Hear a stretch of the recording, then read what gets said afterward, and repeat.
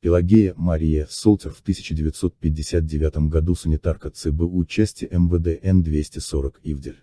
В 1950 году была арестована и осуждена военным трибуналом войск МВД Львовского округа сроком на 5 лет. Направлена в Ивдель-Лак, где отбывала срок наказания. Была освобождена в 1953 по амнистии. Полностью реабилитирована. После освобождения длительное время работала в хирургическом отделении Центральной больницы управления санитаркой, потом медсестрой.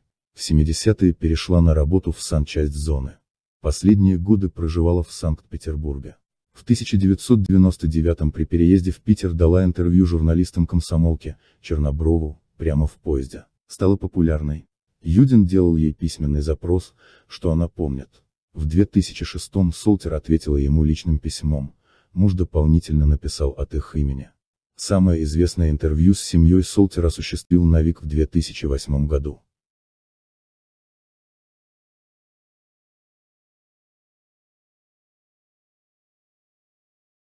Как вы знаете, мой цикл передач о группе Дятлова посвящен не только восстановлению событий в районе горы Атартен, но и анализу того, как такое могло случиться, что масса людей длительное время были в столбнике мышления, навязанного инсценировкой и следствием. Мощные уловки, примененные для манипуляции сознанием, я назвал якорями мышления. Это дневники, фото, 41 квартал, путь на второй северный, дедушка Слава, Ауспея перевал, палатка на склоне уловки помельче, как-то корейка, лабаз, мандолина и тому подобное. Я называл кнехтами на шею. Кнехт – это чугунная железяка на пирсе для швартовки судов. Воспоминания Пелагеи Солтер обладают каким-то гипнотическим влиянием на массы, как сами по себе, так и благодаря трудам некоторых блогеров. Поэтому кейс свидетельницы Солтер для меня особенно ценен. Как только я озвучил появление группы Z на 41-м квартале, мне тут же пришел комментарий от зрителя – там на Тартене была еще вторая группа, потому что медсестра Солтер вспоминает, что их было 11, никаких повреждений у них не было, только волосы у девушки обожжены, и выглядели они как живые. Итак, имеем три стереотипа. Один, их было 11. Два, все целые. Три, все как живые. А значит это некая вторая группа. Не дятловцы. От себя добавлю, вторая группа наверняка состояла из круглых сирот, и даже отдаленных родственников у них не было. Потому что у дятловцев даже племеши племешей на телевидении уже побывали. А эти пропали, и о них никто никогда не вспомнил. Тогда ладно. Но сейчас,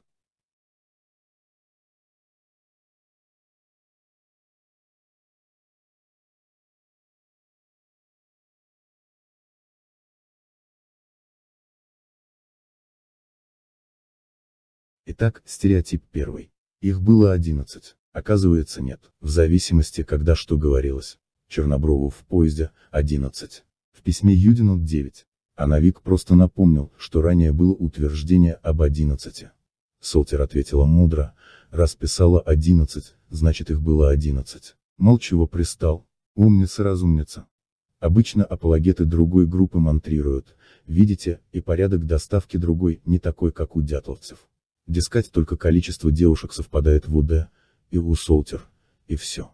Да тогда, но опять проблема, в письме их привозили по три в три заезда, причем две девушки в первом, интервалы в пару дней. А вот Навигу Солтер рассказывает о первом заезде в шесть человек с одной девушкой и через несколько дней еще трое с другой девушкой. Итого девять, а об оставшихся двоих ни слова. Вот такой разнобой. В чем же его причина? Время, память или влияние других людей?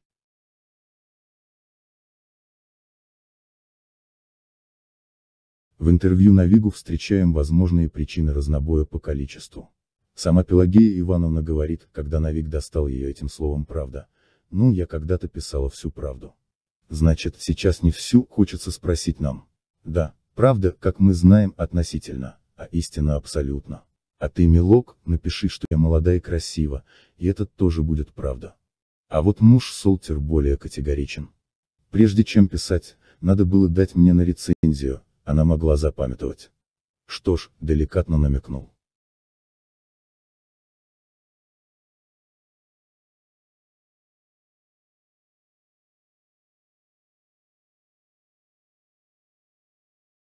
О травмах, оказывается, все не так однозначно, как пишет мой зритель. Посмотрите, Солтер не уверена. Вот если бы я сразу записала, говорит она. Вместе с тем, она утверждает. Ну, они все целые были. Ах, Пелагея Ивановна, вы так примохенько сидите, как будто в арморе, рыцарском доспехе и наукаете. Визуальный диссонанс. Если бы. Однако ж сотни статей об этих словах написано. Ну, вот, да. Вы понимаете. Как вы знаете. Объяснять, думаю, не надо. И тому подобных. Они как маленькие паразиты. Паразиты, потому что выдают лжецов и обманщиков. В единичной частоте встречаемости ничего, но в интервью несколько раз вы нукаете. Ладно, пропустим мимо ушей. Но далее идет такое. Кроме одного, у которого была голова ранена, трещина в голове. Заметьте абсолютно обывательский термин, не медицинский, тем более не операционной медсестры с 54-летним стажем, как вы себя позиционируете в письме к Юдину. Но не это главное, а главное то, что она напоминает нам трещину Слободина. С другой стороны, ваше замечание порождает мысль, что было вскрытие, и вы на нем присутствовали. Но ничего подобного, вы говорите четко, был наружный осмотр. Но самое главное, вас там не было, вас попросили из морга. Какой-то военный сказал. Зачем она нам? Представляю, какой удар по вашему самолюбию. Правая рука Пруткова, которую вызывают по всем важным вопросам и стоп-машина. Вы нам не нужны. А как же трещина? Откуда информация? А Прутков успел сказать после осмотра первой тройки, пока подписку не сложил, и потом все. Так остальные оказались целыми. Как же воскликнет упорный зритель, но ведь Мария Ивановна обмывала их. Муж Солтер, наверное, предвидел такой возглас, потому что написал в своем письме Юдину. Как выглядели тела мы ответить не сможем.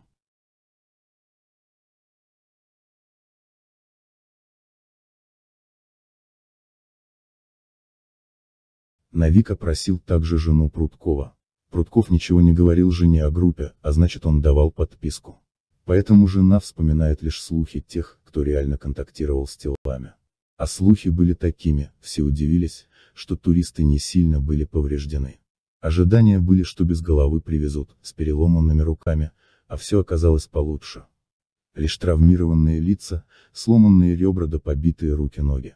Тем не менее такое описание не соответствует словам Солтер, что все были целенькими.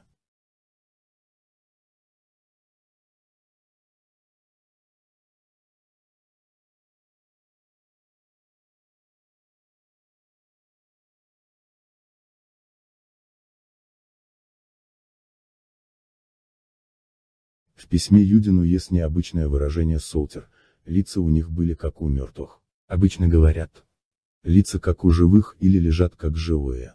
Именно это как живые вспомнил Краснобродов, майор КГБ, как представил его нам Каратаев. Заметьте, Краснобродов тоже утверждает, что дело вел Каратаев, а он по соседству работал и зашел в морг посмотреть. Так почему же Солтер говорит, что лица были как у мертвых? Возрастное, совсем плохо с памятью обычно объясняют так. А если нет, какие альтернативы?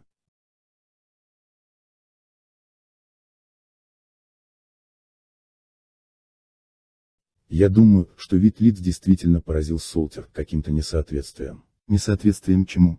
Тому, что было сказано, что дятловцы замерзли. Ведь шум про убийство решили сразу не подымать даже 6 февраля. Принцип осторожности.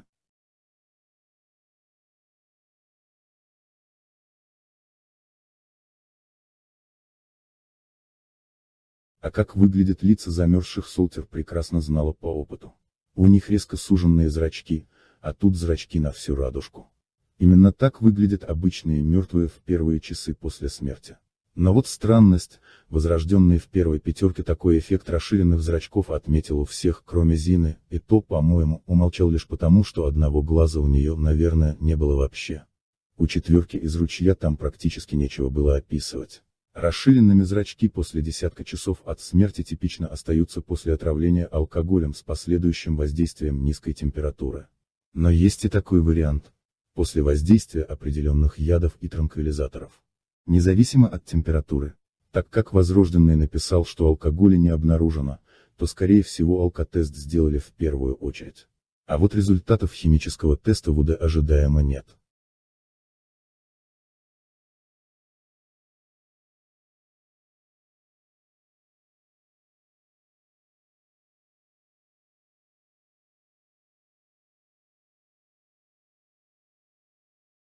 Когда Солтер отвечала на вопросы Юдина ей было 86 лет. В письме она жалуется, что не все помнит. Также и в интервью несколько раз ссылается на плохую память. Знала бы, что будете спрашивать, то записала бы, говорит Пелагея Ивановна. И это нормальный процесс, с возрастом мы забываем второстепенные моменты жизни, неудачные вообще вытесняем на подкорку, успехи и достижения стараемся периодически вспоминать. Но моменты высшего психического напряжения, жизненно важные или необыкновенные явления, мы запоминаем хорошо и помним их даже при сильном расстройстве памяти. К счастью, у нас есть материальный источник информации, по которому можно судить о физическом состоянии свидетельницы Солтер. Это ее письмо Юдину, рукопись на четырех страницах. Посмотрите на первую страницу и сравните с твердой рукой мужа. Казалось бы ничего особенного в почерке Солтер, но обращает на себя внимание дрожание линии и неравномерность нажима, рваность ритма письма. Наклон букв, их ширина и высота пляшут. Строки сползают вниз или вверх от разграфленных линий аркуша. Также заметна несвязность букв и большие расстояния между словами, а поля письма стесненные. Это лишь общие черты, а ведь много-много мелочей, которые мы не будем разбирать здесь. Потому что существует около полсотни факторов почерка, по которым я провел анализ и оглашу лишь результат.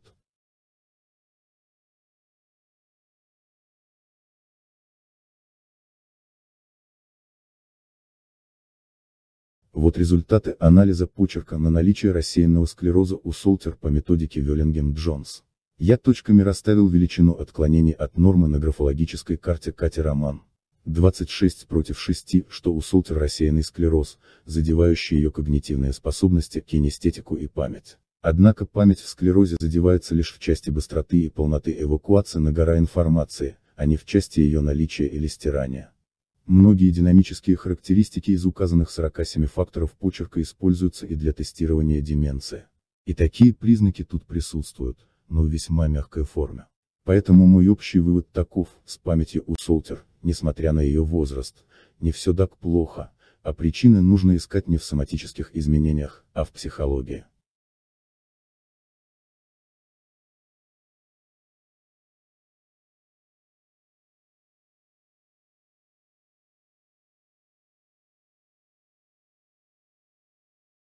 С психологической точки зрения, один грех памяти, номер 6, по классификации Дэна Шектера ярко выражен у Солтер. Процитируем. Эгоцентрические искажения памяти отражаются в нескольких взаимосвязанных ее пируэтах, избирательном воспоминании, при увеличении прошлых трудностей, переоценке прошлого себя, которые окружают настоящее я утешительным ореолом позитивных иллюзий. В точку о Солтер. Вот она пишет, как ее вызвали из дома и ночью, и в выходные, и все без допоплаты, заметьте. Какая она незаменимая и единственная правая рука хирургов, как в вольной больнице, так и в лечебке зоны. И за труд без высшего образования она получала круглые 250 новых рублей, и это без сверхурочных. Мы все знаем благодаря письму Юдину и тщеславию Солтер.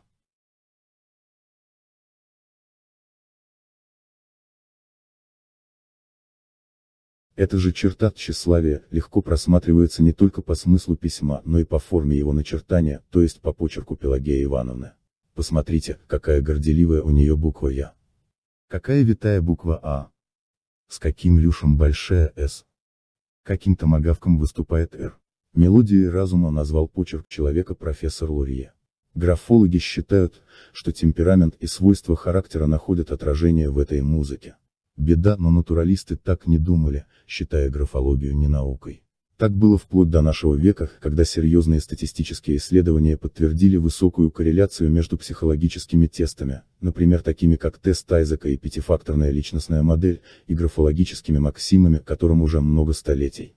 Тогда встает вопрос к самой психологии, а наука ли она? Лично я использую графологию для начальных подсказок, если подтверждений той или иной черты характера набирается больше трех а потом ищем подтверждение другими научными методами.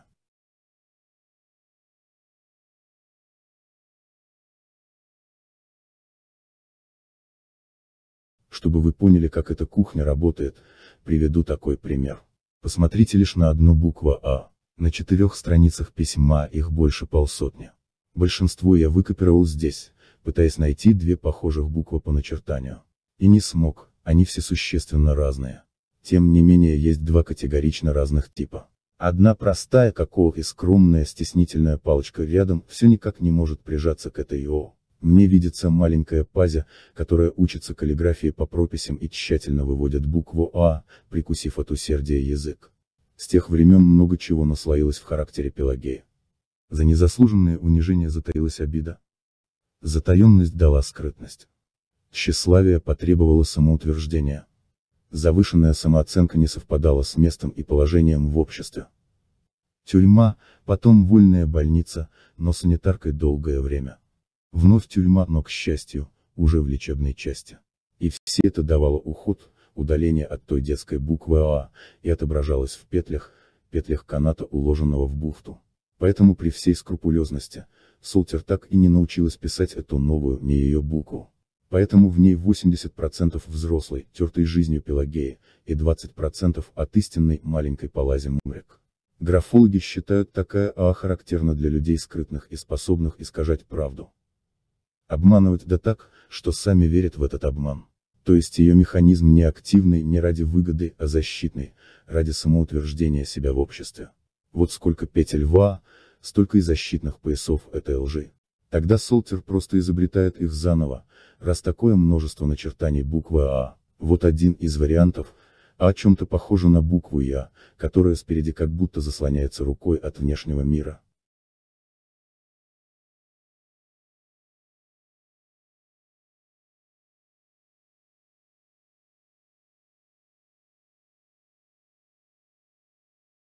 Ложь может быть проверяемая или непроверяемая. Обманщики больше всего боятся пойматься на маленькой проверяемой лжи. Она может выдать их систему. Поэтому весьма искусно путают следы правдивым фактажом. В письме Солтер у нас есть два ее утверждения, вполне проверяемых. Первое, что она проработала 54 года операционной сестрой, что невозможно из-за тюрьмы из-за характера описанных ею процедур, свойственных не правой руке хирурга, а скорее обыкновенной санитарке. 54 года – это весь стаж работы Солтер. Второе искажение истины, зачем-то понадобившееся Марии Ивановне, Прутков переехал в Свердловск и вскоре умер из-за неудачной операции опухоля, говорит она. Возможно, подспудный намек, что и она была под риском, работая с радиоактивными телами. В кавычках, конечно. На самом деле Прутков умер через 23 года после переезда в Свердловск.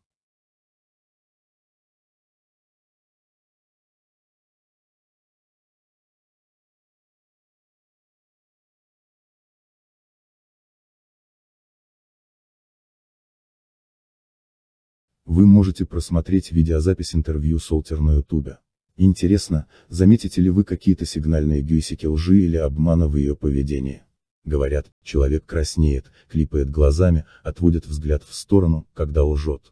На самом деле, только школьники могут показывать подобные сигналы.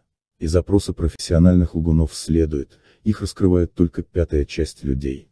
Неподготовленные люди, непрофессиональное вранье распознают в трети случаев.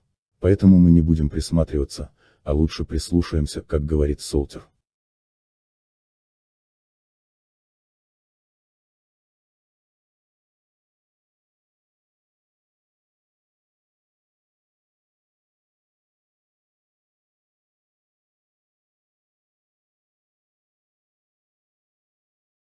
И начнем мы с местоимений. Это очень сильный фактор в установлении лжи говорящего. Вот что пишет Джеймс Пеннибейкер по этому поводу. Цитата. Что именно делают местоимения? Какова их роль в разговоре? Они служат для обозначения участия, присутствия или роли говорящего. Человек, который лжет, склонен чаще использовать «мы» или вообще использовать предложения без местоимения от первого лица. Что выдает ложь, обезличенная речь. Большинство людей, когда пишут о личных потрясениях, то переживают этот опыт весьма личностно. Они используют такие фразы как «я видел» или «я чувствовал». Интересно? Так давайте же посмотрим, что с местоимениями в интервью Солтер.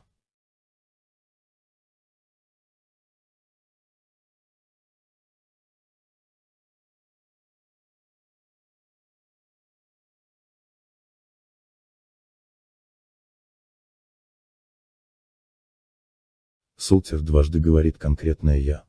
Я обмывала. Я одевала. Но одевала уже как-то неуверенно. Добавляя для усиления аргумента, что и Прутков одевал. Представляете? Ладно медсестре нечем заняться, как мыть трупы. Так еще и звезда Ивделя, главный хирург ЦБУ, капитан Прутков, переодевает трупы. Сия понятно, а как насчет мы? В том-то и дело, что мы тоже связаны только с этими действиями. Мы их обмывали и мы одевали. И скромно добавлено тут, или же, и ложили. А вот эта добавка уже непонятная, она еще мы или уже неопределенно лично, не то мы, не то они. Дело в том, что целая дюжина действий у Солтер встречается как неопределенно личные акции. В письме Юдину они собраны вообще в одно предложение. Вот цитата. Мертвых осматривали, переодевали в новую одежду, ложили в гробы, заколачивали, и на самолетах увозили в Свердловск. И говорили, что сразу отправляли на кладбище, и хоронили. Плюс три восклицательных знака в качестве усиления аргумента. Вот так работает обман, строго по Пеннибекеру. Стоит только на Вигу спросить, а кто ложил, как он получает тут же контрольный ответ, никто, а куда. В Свердловск отправляли. Вот и весь разговор. Шаг влево, шаг вправо, и уже глупота среднего уха.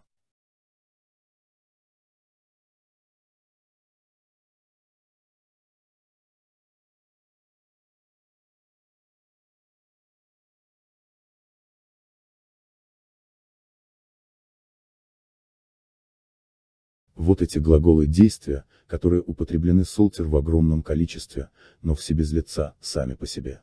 Кроме осматривали в письме Солтер использует пассивную форму с возвратной частицей ся, туристы осматривались. Тот же профессор Пеннибейкер в своей статье утверждает, что интенсивное использование глаголов движения, моторики, само по себе является признаком лжи. Обманщикам они кажутся убедительными, ведь их можно жестами изобразить так что подразумевала Солтер под неопределенно личными глаголами, все же мы. Или все же они. Может она имела в виду мы не себя лично, а ее больницу. То есть корпоративное мы эквивалентно и я тоже. Мол не нужно лицу. Потому что из контекста, и так понятно, что имеется в виду. Нам же, чтобы понять, нужно подняться на уровень выше, чем контекст фразы. Если ключа к шифру нет, ищи открытый ключ в общекультурном контексте того времени.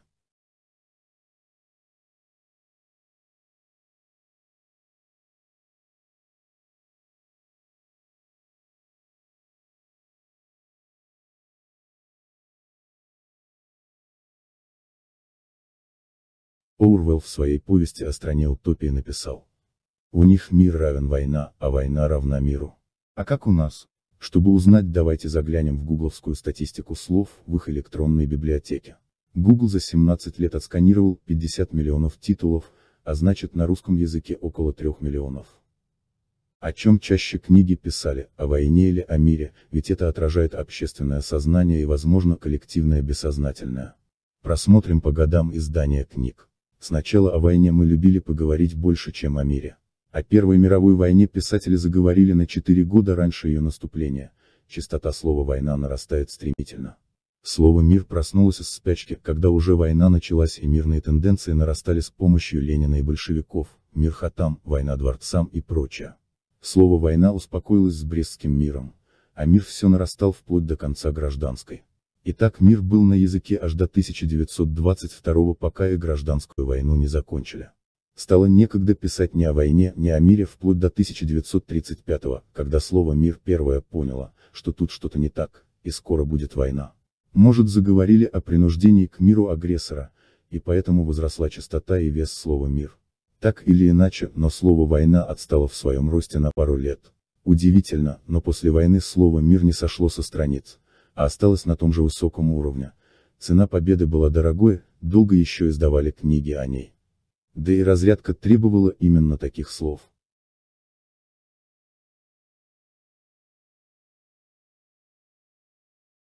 Тогда нам нужно посмотреть, как эти тенденции отражались в немецкой культуре. Видим отличия. Немцы любили поговорить о войне и мире сначала симметрично на равных. И у них Первая мировая была предсказана общественным сознанием за 4 года. Резкий всплеск слова «война», и так оно осталось, все время превышая слово «мир» в 2-3 раза. Фактически сразу после прихода Гитлера к власти заговорили одновременно, и о войне, и о мире, аншлюсе и прочая тенденция нарастала симметрично, но на отрыв слова «война» пошло в 1936 году. Обратите внимание, как агрессия куда-то испарилась в 1944 и стала падать, но остановилась, не достигнув даже до гитлеровского уровня. Разрядка немцев была с точностью да наоборот, о войне писалось больше в три раза, чем о мире.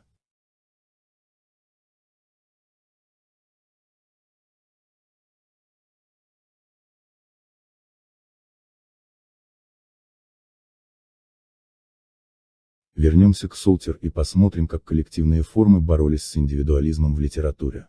Сравним частоту использования местоимения «я», «мы» и «они», что в 1959, что в 2008, оба слова «мы» и «они» использовались одинаково часто. А вот с начала века коллективизм, слово «мы» пошли на отрыв, что связано с ростом сначала капитализма, а потом и социализма, то есть коллективных форм труда. Заметьте, что индивидуализм слова «я» просыпался и был в почете во времена войн и в эпоху неба. Видимо командование массами людей «я сказал», героизм «я пойду» и предприимчивость «я сделаю» требует высоких индивидуальных качеств. К слову, о роли личности и народа в истории. Так что же Солтер имела под неопределенно личным, мы или они? Скорее всего, это было корпоративное «мы», так как единственное преимущество слова «мы» проявляется в эпоху, когда она училась в школе. Это 30-е годы.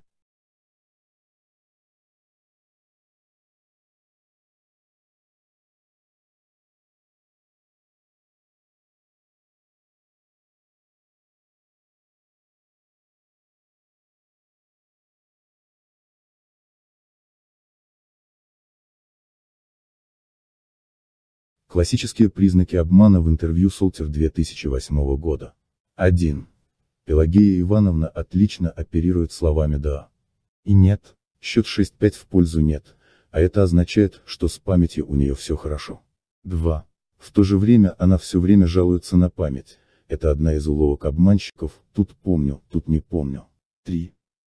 На вопрос требующего конкретного «да» или «нет», она отвечает отвлеченным предложением. 4. Наоборот на вопрос, требующего расширенного ответа, отвечает односложно. Да или нет. 5. Солтер в интервью 8 раз говорит частицу «no», маленькое слово «паразит», которое в списке на детекцию лжи. 6. Отвечать вопросом на вопрос – это также стандартная тактика обмана. Солтер применяет ее дважды.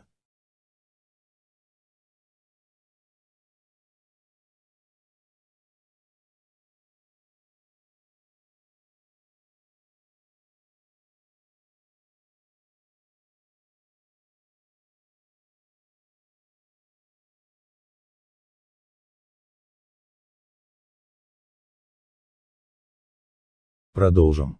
7. Султер отвечает на другой вопрос, чем спрашивают. Спрашивают кто, она отвечает куда. Спрашивают какую, отвечают глаголом. 8. Контратакует вопрошающего обвинением в том, чего он не делал. Тактика перевода атакующего в защитную позицию. Интервьюер спрашивает, а помните ли вы? Она отвечает, а вы говорите не помните, мол я все помню. Хотя минуты раньше жаловалась на память, знала бы, что спрашивать будете, записала бы. 9. Переключение внимания вопрошающего перескоком на другую тему. Но вопрошающий сам поперескакивать готов. Результат – не дожато много важных вопросов. 10. Избегает исключающих слов кроме «но», «без» и тому подобных в сомнительных утверждениях. Этот фактор замечен как значимый в речах записных лгунов но он хуже работает из-за его отсутствующего присутствия. 11. Местоимения от первого лица. Я, мне. Редко используются, а заменяются на мы или вообще на безличностные предложения. 12. Частое использование глаголов движения. Обмывали, ложили и тому подобное. Дюжина таких слов многократно повторяются, как в письме Юдину, так и в интервью через два года. И главное, чаще всего они используются в неопределенно личных предложениях. Три последних фактора являются наиболее значимыми в статистической модели Ньюмана Пеннибейкера. Модель распознает ложь в речах людей с точностью 65%, в то время как неподготовленные эксперты распознавали ложь с точностью всего 30%. И интересно, что профессиональные лгуны утверждают, что их раскалывают лишь в 20% случаев то есть интуиция на ложь, включая жесты и визуальные ерзание лжецов, тут не работают. Статистические модели знаний здесь более эффективны.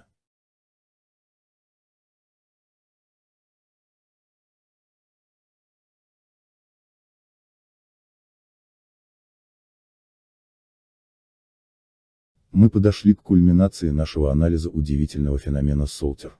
А именно к вопросу, если мы обнаружили так множество признаков обмана со стороны нашей санитарки Солтер, то почему многие блогеры и их зрители с таким пиететом и доверием относятся к ее свидетельствам?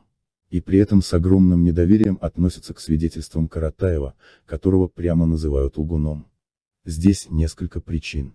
1. Сами блогеры, которые выстроили свои версии о второй группе исключительно на текстах медсестры Солтер.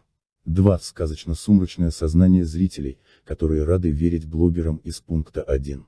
3. И это самый важный пункт, Солтер не лгала. Да, да, вы не ослышались. Она не обманывала, она самообманывала. С возвратной частицей ся. Согласно исследованиям эволюционного биолога и психолога Роберта Триверса, лгунов еще можно распознать по внешним визуальным ужимкам, а вот самообманутых нет. И многие люди им верят, потому что выглядят они искренними, респектабельными и честными. Потому что они настолько глубоко загнали свою ложь на подкорку, что искренне в нее верят. А вот Каратаев не врет в главном, но преувеличивает свою значимость, вуалирует наличие следствия до следствия, слишком тонко намекает, пытается не договаривать. И все это сознательно, в отличие от Солтер, которая лукавит неосознанно.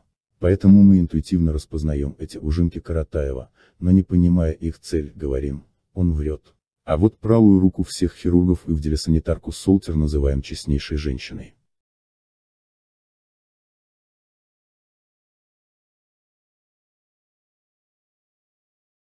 Хорошо.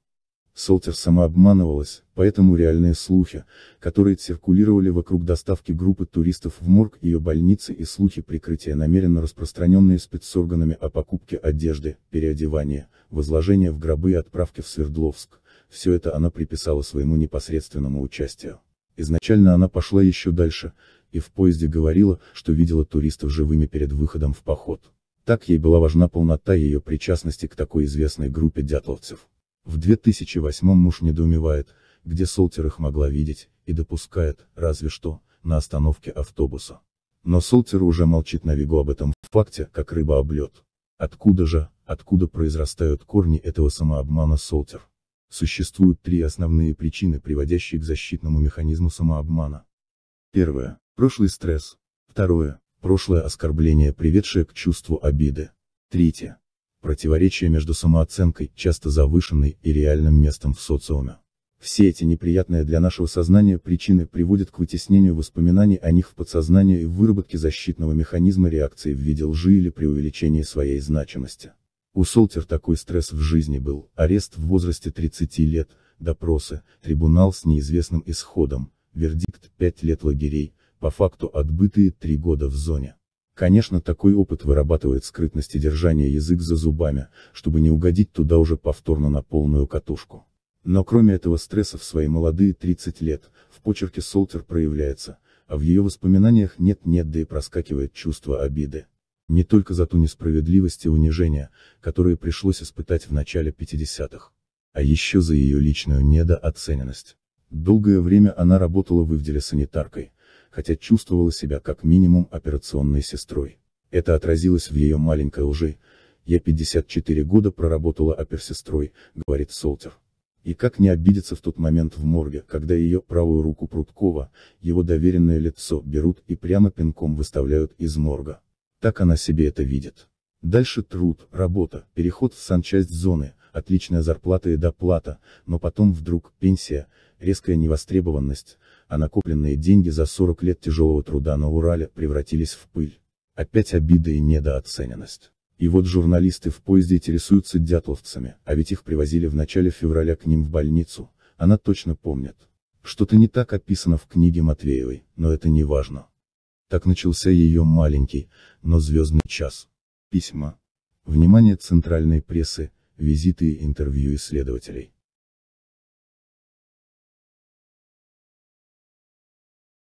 Вот два примера из интервью Солтер, как работает защитный механизм самообмана, делая такую категорию обманщиков нераскрываемой без надлежащего опыта. Пример первый. Солтер говорит в своем стиле, неопределенно и обезличенно, одежду покупали и их ложили в гробы. На вид не выдерживает и спрашивает, а кто ложил? Вместо ответа на вопрос «кто?», Солтер отвечает «куда?». Гробы отправляли в Свердловск. Когда вы наблюдаете глухоту к вашим вопросам пожилых людей, это не обязательно физиологическая глухота, а психологическая. Пример второй. Солтер так часто повторяла, что она обмывала трупы, что ее муж не выдерживает и задает логичный вопрос, а санитаров не было, которые обмывали. Предполагается ответ, нет, потому что я была санитаркой.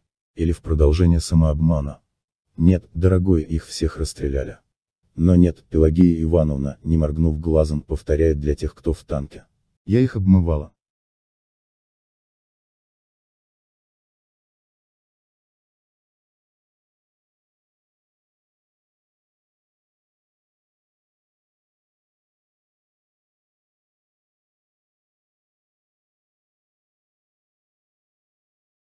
Свидетельства Солтер демонстрируют много сигналов о неправдивости ее речи. Тем не менее, зная причину этой лжи и перекрестные свидетельства других фигурантов, жены Прудкова и следователя Каратаева, можем заключить. 1. В ЦБУН-240 была доставлена группа Дятлова в полном составе, и может быть, еще несколько пострадавших. 2. В морге ЦБУ они были осмотрены хирургом Прудковым и, возможно, подшиты для подготовки к инсценировке. 3. Солтер очень мало контактировала с трупами и была скорее всего только при приеме первой тройки, после чего ее отстранили. 4. Шоковое впечатление Солтер от лиц, как у мертвых связано с несоответствием внешнего вида тел, а не только лиц с объявленной причиной смерти от замерзания. В частности причину смерти могло выдавать состояние зрачков.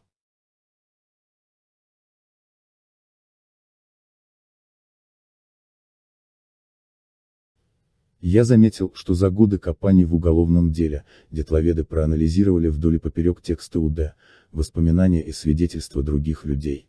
Поисковиков, следователей, пилотов и так далее. Но именно проанализировали, то есть разобрали по косточкам, до основания, а затем, а затем стоп-машина. Дальше за анализом должен следовать синтез. А синтез требует немного другого качества ума. Нужно взять битые кирпичи, оставшиеся от анализа и сложить из них строение, да так, чтобы оно не просто не падало под воздействием гравитации, но еще и служило определенным целям. Один говорит дом, другой говорит крепость, а вместе будет мой дом, моя крепость. В прямом и переносном. Следовательно синтез это три единства, кирпичей, инструментов и целей. В данном случае, давайте проведем синтез имеющихся данных от двух свидетелей, Каратаева и Солтер. Итак, имеем двух хирургов, Ганса от Каратаева и Прудкова от Солтер. Обоих нет Вуда. Солтер не знает Ганса, Каратаев не помнит Прудкова. Солтер настаивает на лишь наружном осмотре туристов Прудковым, а Каратаев уверен, что Ганс делал вскрытие. Теперь синтезируем их показания, Солтер и Каратаева. Не две разные группы было, что проще только думать, но труднее стольких безымянных людей найти. Нет, одна и та же группа была, но сначала она была в морге, где работали Солтер и Прутков, а потом ее переместили в морг санчасти закрытой зоны Евдельлага, это фактически через забор от предыдущего морга, где группу уже приняли Каратаев с Ганцем. Прутков проводил наружный осмотр группы, сортировал тело туристов на тяжелых, и с легкими повреждениями. Потом пришло распоряжение направить трупы на вскрытие, начиная с тяжелых, но лучше это делать в морге зоны для уменьшения огласки, там есть санитары, зэки с длительным сроком заключения. Утечка все равно была. Сюникаев, солдат конвойной части вспоминает, что зэки говорили их убили, а вы не там ищете. А зэки-санитары кое-что слышали при вскрытии Гансом, который аж вскрикивал, когда находил новые травмы дятловцев. Так говорит Каратаев. Ганс – видный судмедэксперт из Свердловска. Раз был задействован Ганс, значит Каратаев уже эскалировал убийство на высший уровень. Область прислала Ганса, чтобы решить, что делать дальше с этим происшествием. Целью Ганса было установить реальную причину смерти и возможные доказательства вины Манси. Огласка в Москву этого ЧП, сами похороны могли привести к волнениям в стратегически важном городе Союза, а значит дорого обойтись главе области Кириленко. Не то что президиума ЦК ему не видать, как свои пять пальцев, а целину подымать придется в отсталом колхозе. Вообще, вскрытие длительная процедура и по-хорошему на всю группу нужно было 3-4 дня. Но Ганс успел вскрыть только четверых, как со Свердловска пришло распоряжение сворачивать вскрытие, трупы подшить и вернуть на перевал для инсценировки. С неизбежностью такой синтез дает важный вывод, почему часть группы, и поименно именно эта часть, оказалась в ручье.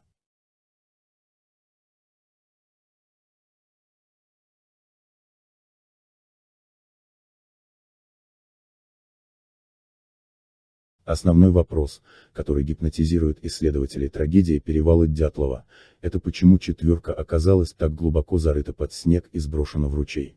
Типично объясняют так, это из-за травм дятловцев, которые нужно было скрыть инсценировщикам, а поэтому нужно было время, чтобы эти травмы были скрыты тлением.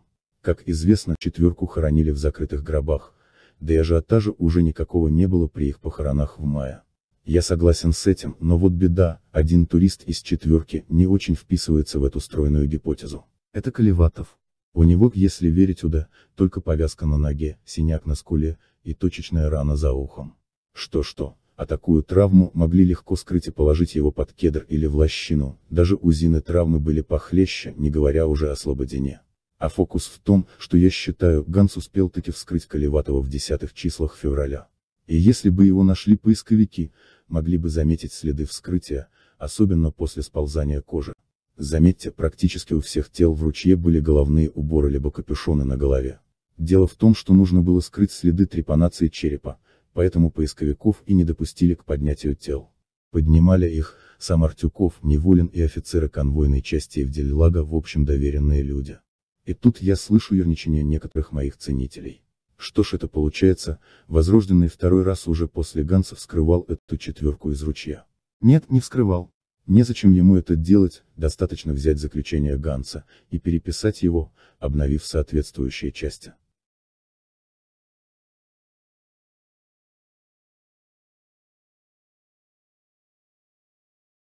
При всей ненадежности свидетеля Солтер из-за возрастных, склероз, и психологических проблем, самообман, можно с достаточной уверенностью сделать такие выводы. 1. В начале февраля в морг вольной больницы части Н-240 МВД за несколько дней свезли всю группу Дятлова. 2. В морге этой больницы они пробыли около недели. 3. После разморозки и смытия грязи и крови с одежды, они осматривались хирургом Прудковым в присутствии некоего военного, скорее всего полковника КГБ. 4. Целью наружного осмотра Прудковым было определить степень их повреждения, и что делать с телами дальше, вскрывать тут или везти в Свердловск.